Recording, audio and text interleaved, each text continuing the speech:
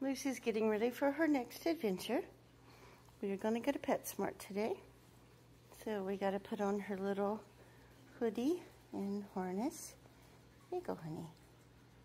I'll put your little face in. There you go. Good girl. Okay. Well, here's Lucy in PetSmart. She's walking around looking at stuff. She's got a little tail up. hey, good job. Good job. Now she's checking out cat trees. now Lucy's trying out a bed. He seems to like this. We're watching the dog training over here. Lucy did such a great job. Now she's a little tired and ready for a nap, aren't you? We had so much fun. She was introduced to a mouse and a guinea pig and a lot of different people.